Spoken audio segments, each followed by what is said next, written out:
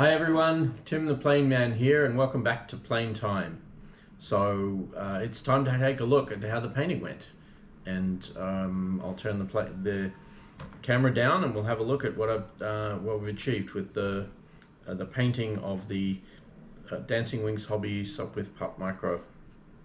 So this is how it looks and I am very happy with how it's turned out. Uh, it turned out to be um, quite a long exercise, took a little bit of uh, a lot of patience and um, several coats.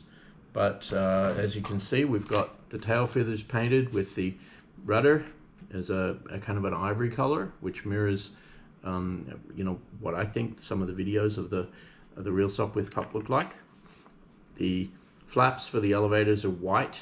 Um, if all goes well, we're going to have some um, some stripes and decals to cover those. A green uh, elevator. Uh, or and then um, the, the fuselage is painted a brown. I'm a little, I think it's a little too dark. It's supposed to look like like wood actually, which is what I think the um, the original surround of the cockpit looked like. Um, but I did want to differentiate it from the actual wood that I've left the rest of the fuselage. That hasn't been painted, that's just the wood filler finish. And then as you can see, the front of the fuselage with the cowling on the front is painted um, this quite nice um, sort of darkish red color and the intention is for that to look like it's painted metal. Um, it's very smooth, you can't see the wood grain through it pretty much. I, I think it turned out quite well. It's pretty much what I was hoping for, I'd have to say. And then the wheels. The, the wheels I painted silver. Could have painted them red. The video that I've got that's in the playlist that this video is in. I've actually got put a video in the playlist of the of the uh, Sopwith Pup replica that I'm sort of duplicating for this plane um, flying in the air. And, uh, and that plane happens to have red wheels, but I saw a few other pictures of a plane with silver wheels and, and I went with the silver.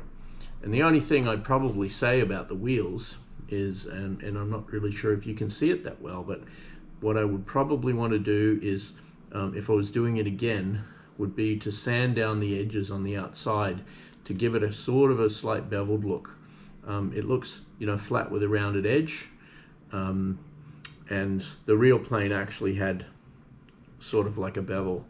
And uh, I mean, to really build that out, you'd actually probably have to put another layer of Tuip balsa on there and then really sand it back, which isn't how the, the plane came the, this design, I think I think it's quite suitable for such a small model, but for a larger model, definitely I'd, I'd do that. And and the um, you know I've already put on the rubber. Well, put on. I mean it's just in, held in place by by the rubber itself.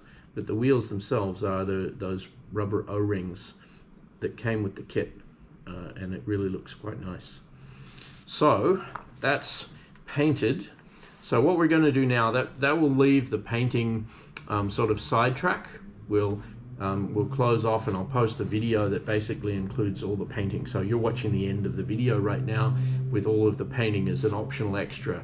Um, for those uh, who have been waiting to get on to finishing the build, well, we'll rejoin the main group and we'll talk now about, uh, or we'll talk next about uh, assembling this together.